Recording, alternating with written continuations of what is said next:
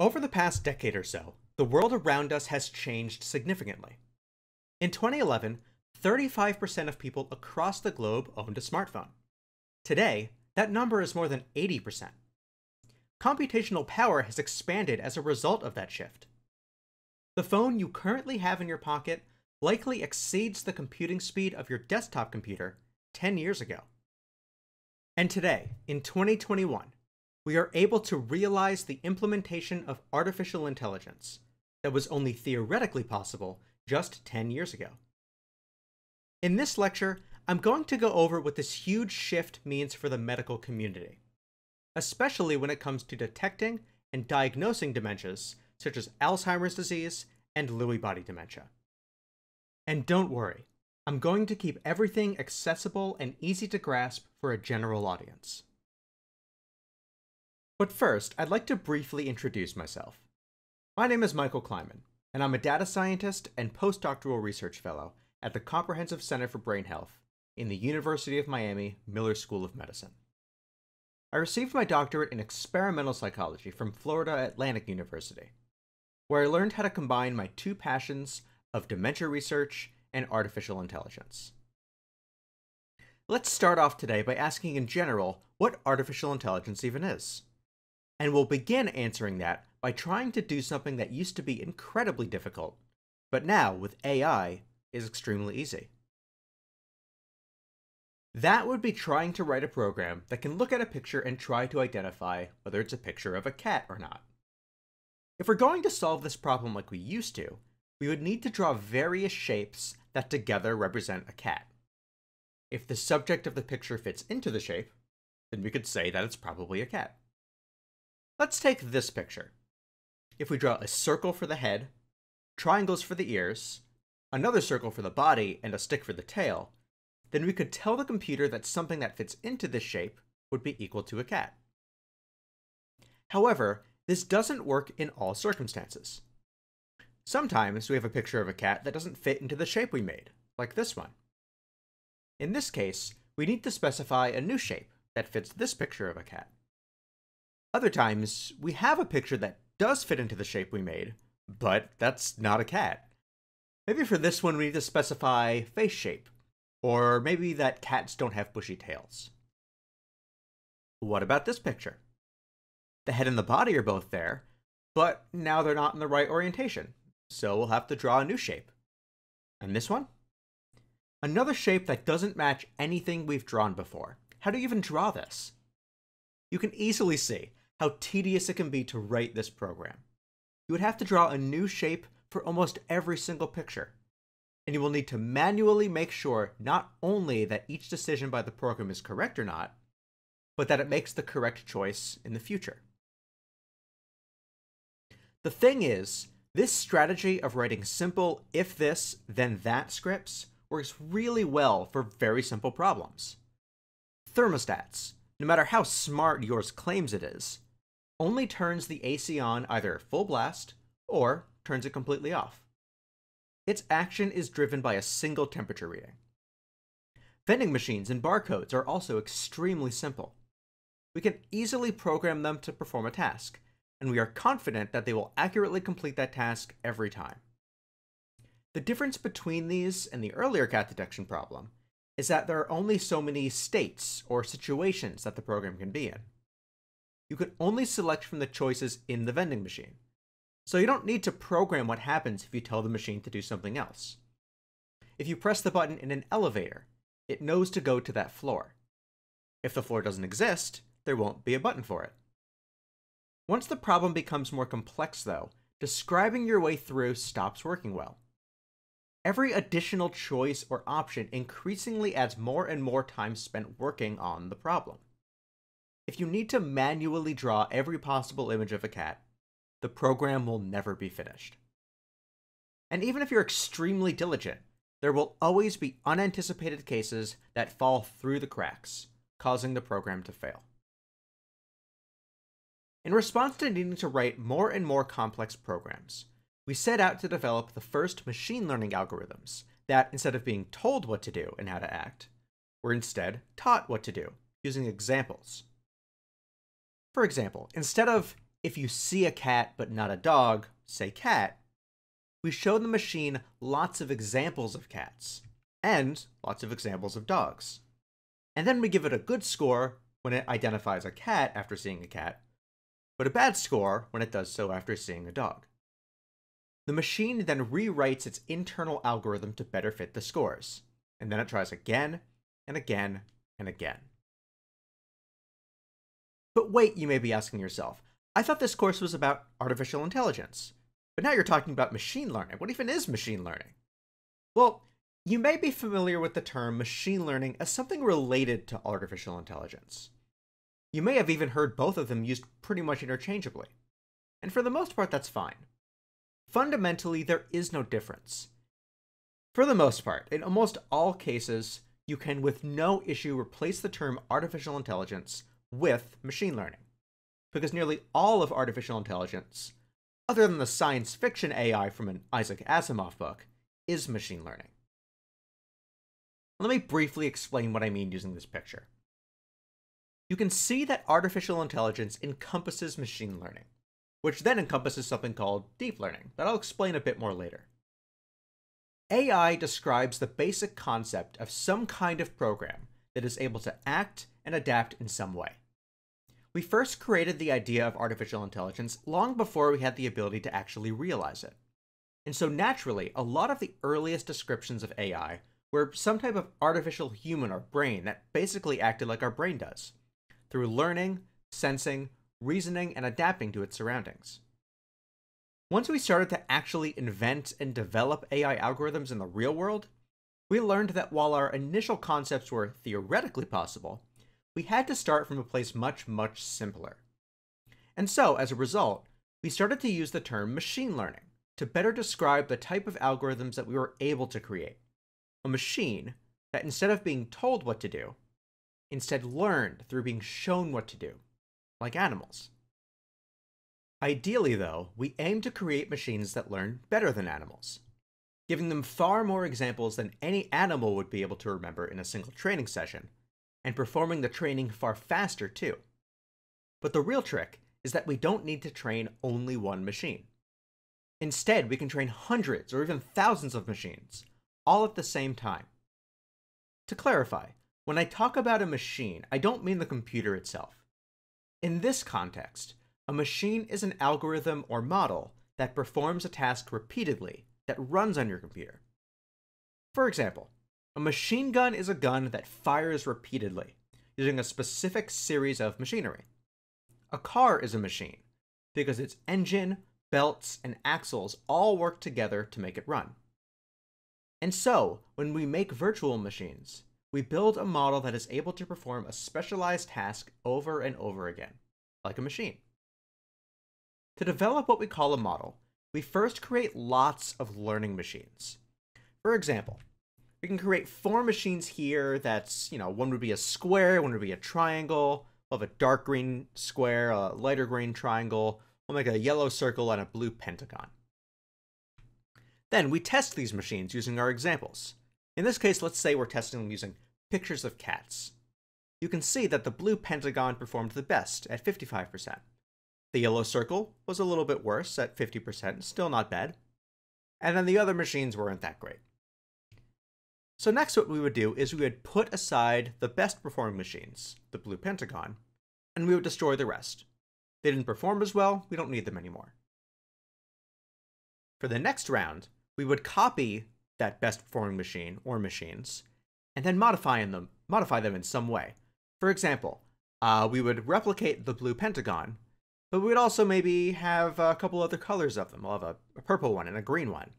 Maybe we'll keep the color blue, but we'll change the shape a bit. We'll, we'll make it a, a hexagon this time and see how that works. Well, let's test it again, and see what happens. It looks like the purple pentagon performed the best at 65%. Actually, changing the shape of it made it perform worse. So we would take the purple pentagon, replicate them, change the color, make some lighter, some darker. Maybe we'll change the size this time, make one a little bit bigger.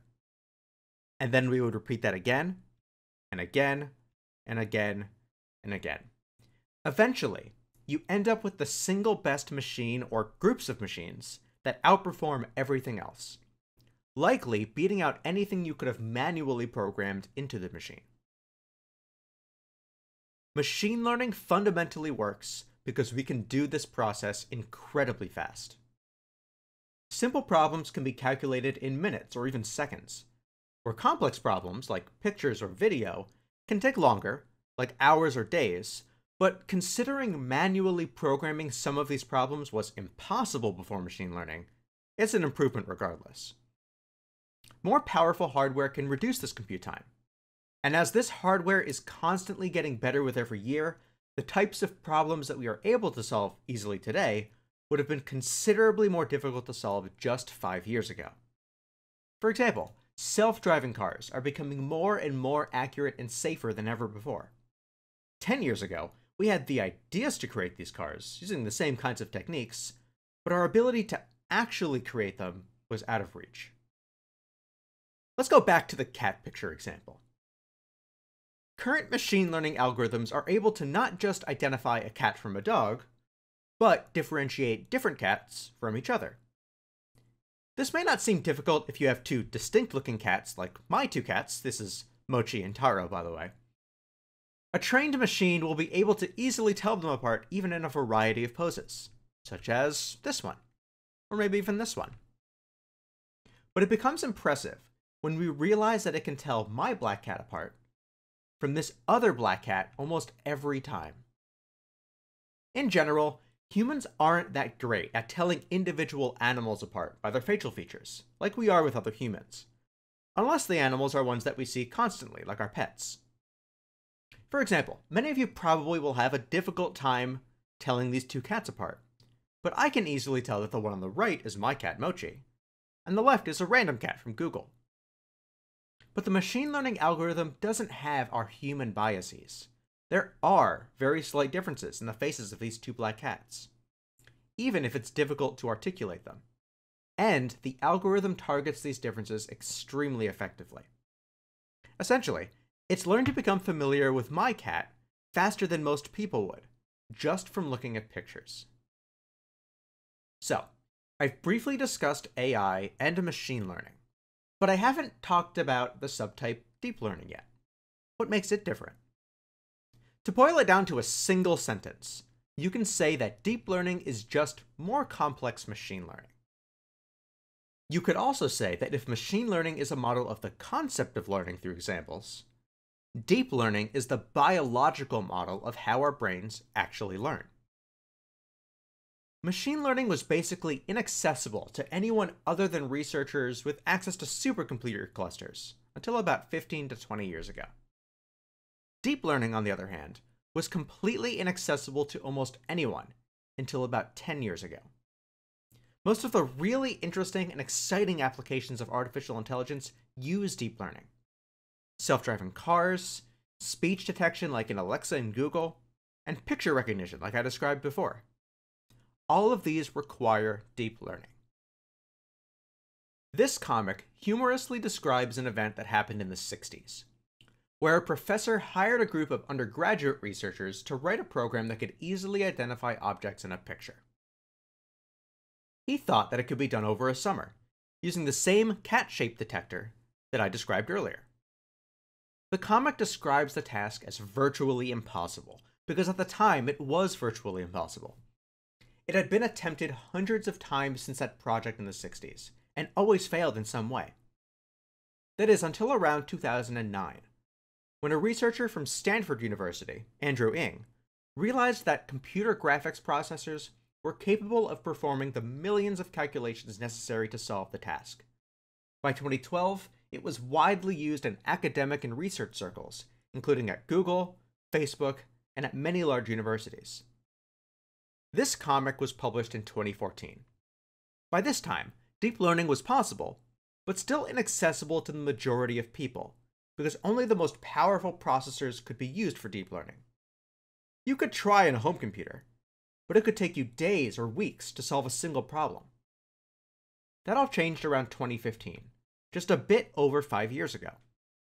NVIDIA, one of the major producers of graphics processors for video games, started to focus on deep learning applications in their home computer graphics processors.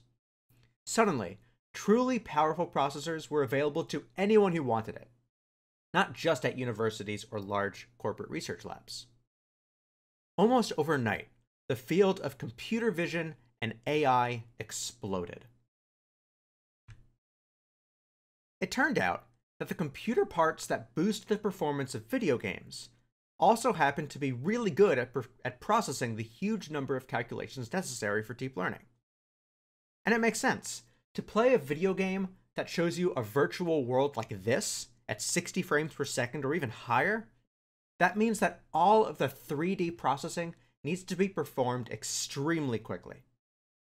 Fortunately, the type of processing power needed to do this is also able to perform the calculations for deep learning nearly as fast as the dedicated processors in the supercomputer clusters at major universities.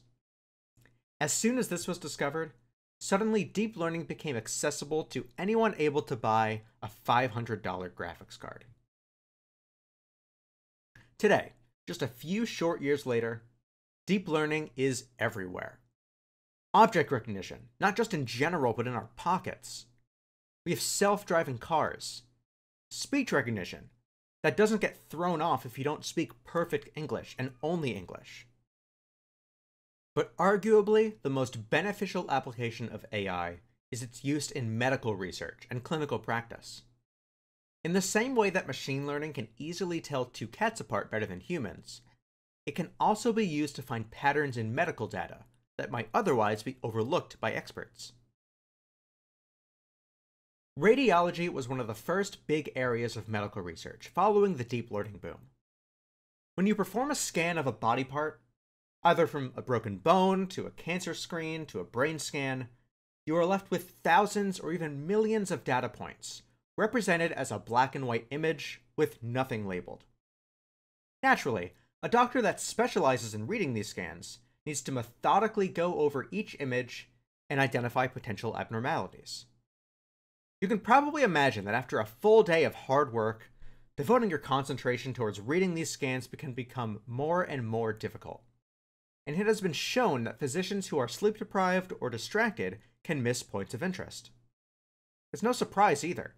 If you take a look at this scan of lung cancer, you can see the circled abnormalities. To an untrained eye, they are indistinguishable from the rest of the image, of course, not looking at the circles but a radiologist or other specialist knows exactly what to look for. However, even being trained, it's still a very difficult task. That's why one of the first huge breakthroughs in medical applications of AI was being able to identify these types of abnormalities. We call the process of helping a physician by identifying possible abnormal areas computer aided detection. Sometimes, Neurologists need to look at a brain scan and identify whether any particular region looks abnormal. Of course, this requires a lot of training, as the brain generally looks like a big gray blob in these brain scans. Fortunately, new AI algorithms allow us to automatically detect these regions and segment them into an easily readable format, like through color coding. This makes seeing any abnormalities in the brain scan trivial, whereas before it would have taken a fair amount of effort. It's also possible to treat scans like we treat cat photos, and train a model to differentiate whole scans. If we show a model lots of pictures of brains with dementia, and lots of healthy brains, we can train the model to learn the very small differences between them, and automatically determine if it looks like a demented or a healthy brain. AI is able to automatically process text information and make decisions based on it in a similar way that Alexa or Siri or Google can make decisions based on the verbal information you provide by speaking to it. We call this technique natural language processing. IBM's Watson platform, probably most famous for beating human contestants on the show Jeopardy, works on a similar principle to Alexa or Siri, except that it is specifically tuned to access a huge amount of information that is most relevant to what it's being used for. On Jeopardy, it was given access to essentially the world's knowledge. And because of its AI programming, was able to access it and find the correct question to answers that are often worded in the form of puns or fit a particular category. In the medical field, Watson instead uses information in unstructured clinical notes from physical and cognitive exams, radiology reports, and elsewhere to help researchers place patients in ongoing clinical trials that they may be a good fit for, or to assist doctors in finding a diagnosis for their patient. This strategy of assisting doctors and physicians in finding the correct diagnosis based on medical data is known as clinical decision support. Because instead of making the decision itself that a patient has a diagnosis, it instead provides assistance to the physician to support their decision. We're at a point in time where AI is technically in its infancy, but it still has a lot of powerful and useful applications. Many physicians are justifiably wary about relying on the decision of an AI, especially if the algorithm it uses to arrive at a decision is so complex as to be uninterpretable, something we in the field call a black box algorithm. Instead, physicians are often a lot more comfortable using something to support their own conclusions, and the patients usually are as well. It is a lot easier to understand and thus come to terms with a diagnosis if it is based on five or six different tests than if it were based on a single algorithm that not even your doctor could interpret. And so, it is more common for your doctor to use the output from such a clinical decision support system to help them make a diagnosis based on other tests you have received. These types of techniques can be used to help scientists, specialist physicians, and even your own family doctor detect dementia. But in order to appreciate how AI is helping improve the way we detect cognitive impairment, we first need to discuss how do we even detect dementia in the first place. First of all, it's important to note that dementia is an umbrella term for a number of different disorders. While they all affect the brain, and thus cognitive functioning in some way, they each have different mechanisms, and the type of cognitive functioning that is affected also differs considerably. The most common form of dementia is Alzheimer's disease, making up roughly half of all dementia cases. Alzheimer's usually affects the parts of the brain that affect memory, although many other regions can be affected. A prominent marker of Alzheimer's pathology is a buildup of a type of protein called amyloid inside of the brain. And although we know very little about why it builds up and how it works, we do know that it can eventually lead to the neurons in our brain being destroyed, which results in cognitive impairment. The second most common form of dementia is Lewy body dementia. This form of dementia is also affected by the buildup of a protein, this one called alpha synuclein, into clumps called Lewy bodies. Lewy body dementia is closely associated with Parkinson's disease, and they often co occur with one appearing before the other. Lewy body dementia can affect the regions of the brain similar to Alzheimer's disease, and so can sometimes appear similar. But they do diverge in that Alzheimer's disease is often not associated with things like hallucinations, sleep issues, or severe motor dysfunction, while Lewy body dementia sometimes is. Frontotemporal dementia affects the frontal and temporal lobes of our brains, although both regions are not always affected.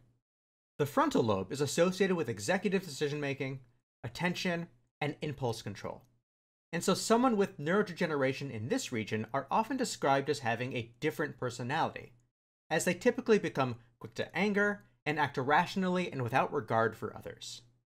The temporal lobe is associated with language, emotions, and memory, and so neurodegeneration in this region can affect the ability to speak, write, and understand language, in addition to general memory and emotional dysfunction.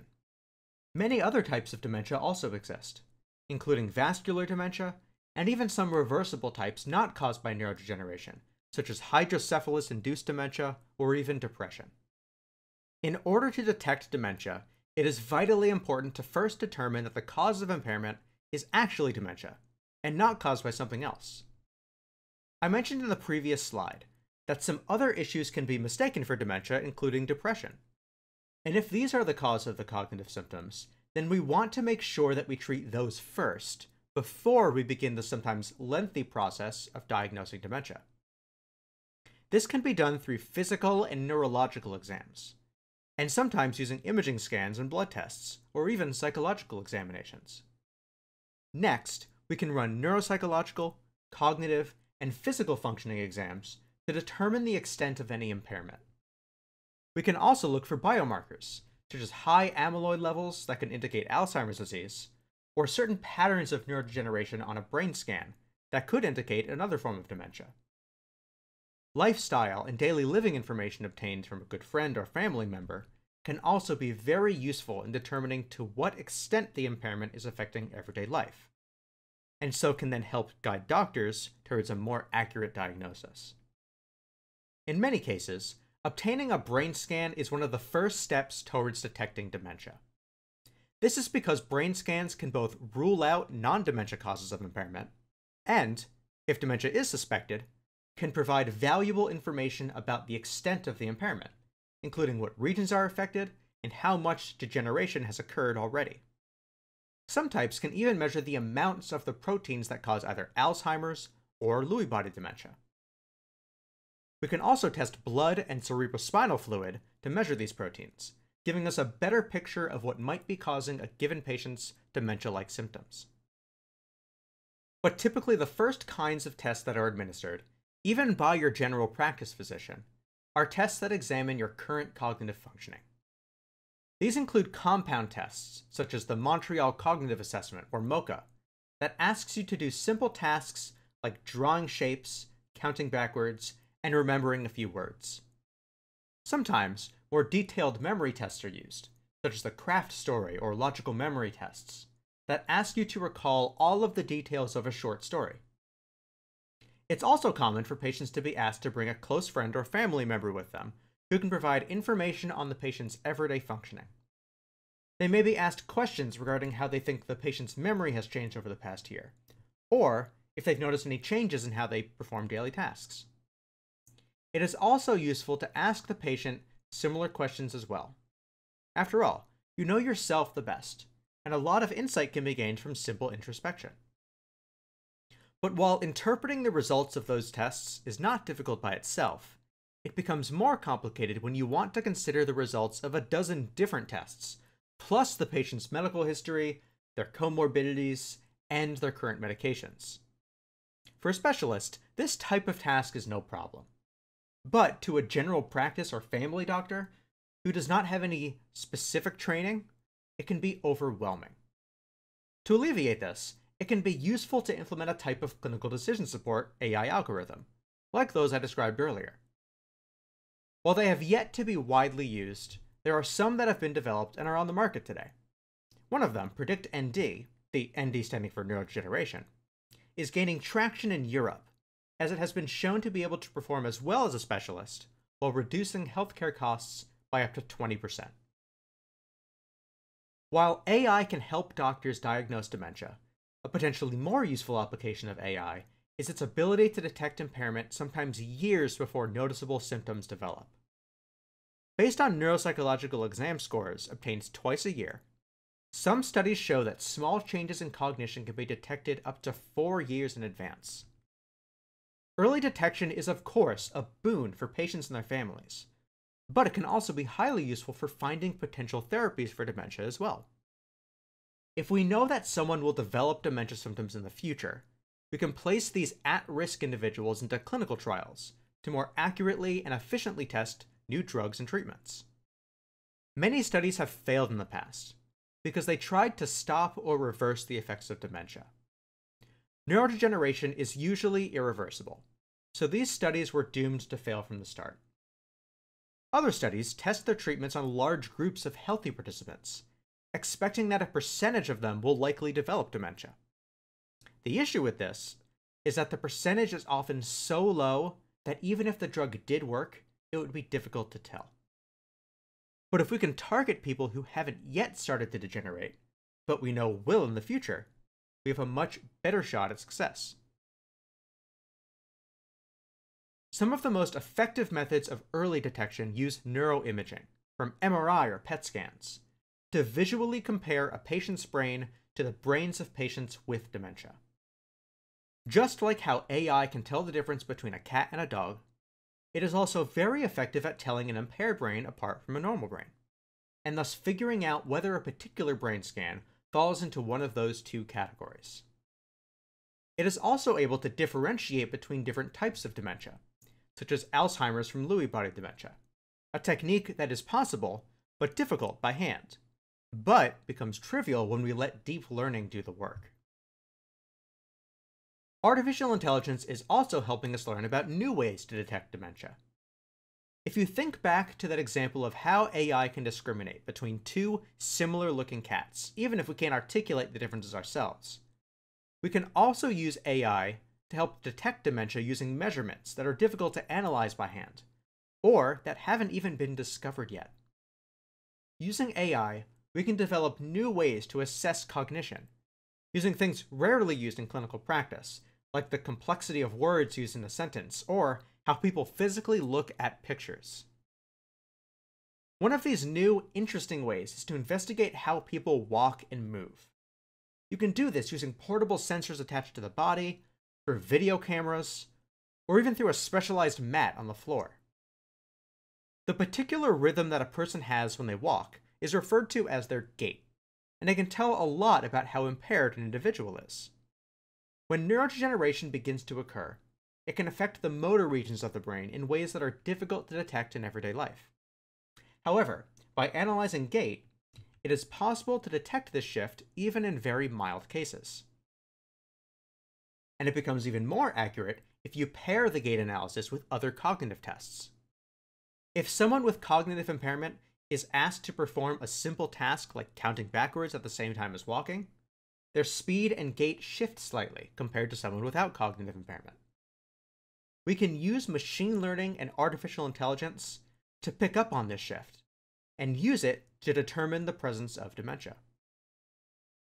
It's also possible to detect these shifts outside of a clinical environment. There is some ongoing research on using our cell phones or smartwatches to measure gait and movement in the real world.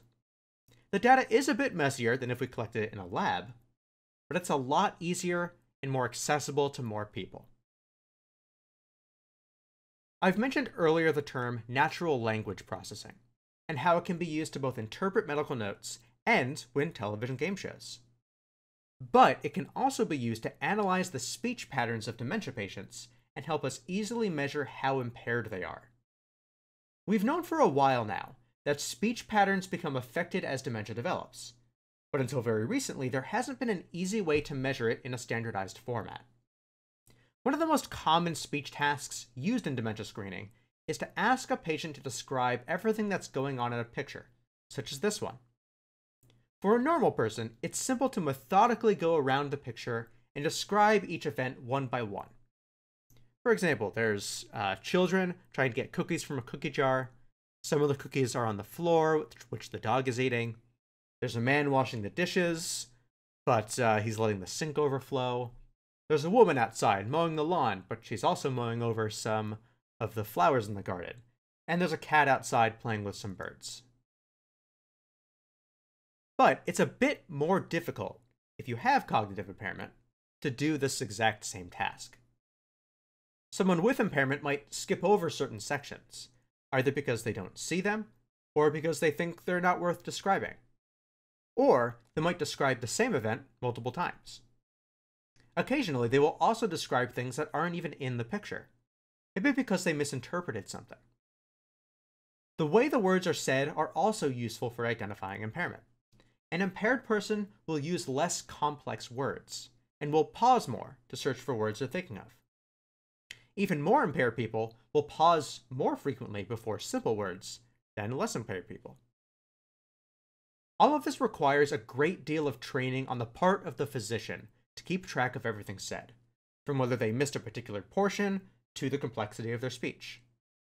That's why this type of task is rarely used in research and almost never in clinical practice, other than for testing severe language deficiency after strokes or other brain damage, even though we know it's very useful at identifying the degree of cognitive impairment.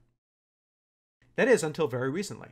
With machine learning, we can very easily measure language complexity, the number of pauses, how many things they described, all of it much more easily than before. While there isn't yet any clinical implementation, the effectiveness of this task means it will likely be developed in the very near future. And that brings us to our final topic gaze behavior. One of my personal favorites. It's often said that eyes are the windows to the soul. a saying that is meant to imply that you can learn a lot about someone just by looking at their eyes. Personally, I like to modify that phrase a bit and say that eyes are the windows to the mind. You can learn a lot about someone by paying attention to their eyes, and it all has to do with how people direct their attention while doing certain things. I can tell a lot about a person by just seeing how they look at a particular image on a computer screen. And I do this by using what's known as an eye tracker. This one kind of looks like a regular computer monitor. But if you notice that bar on the bottom, it's actually a high-powered camera that focuses on the eyes and takes infrared pictures up to a thousand times per second. Using this eye tracker, I can measure exactly where on a computer screen someone is looking. Also, how fast their eyes move, or how wide or narrow their pupils get. All of this can potentially tell us exactly how impaired a person is, and what kind of impairment they may have. One of the things we look at is called novelty preference. Ever since we were babies, we as humans have always been drawn to new things. If you show someone a picture that they've seen before, and a new picture side by side, they will reflexively look at the new picture almost every time. However, this breaks down if there's some kind of memory impairment, like in dementia. If I show a person this picture, and then a couple minutes later show two images side by side like this, a healthy person will automatically look at the new image, and not as much at the old one. But in dementia, this reflex is diminished, because they aren't able to remember as clearly if they've seen the image or not. And all of this is relatively easy to measure. I just look at the percentage of time directed towards one image or the other. Another aspect that can be measured is the pattern of exploration. When shown a picture, someone with cognitive impairment might scan the image slower or more erratically, or they might stare at certain regions. Whereas someone without impairment would quickly examine each part of the image and then move on to the next. We can also examine how people approach reading tasks.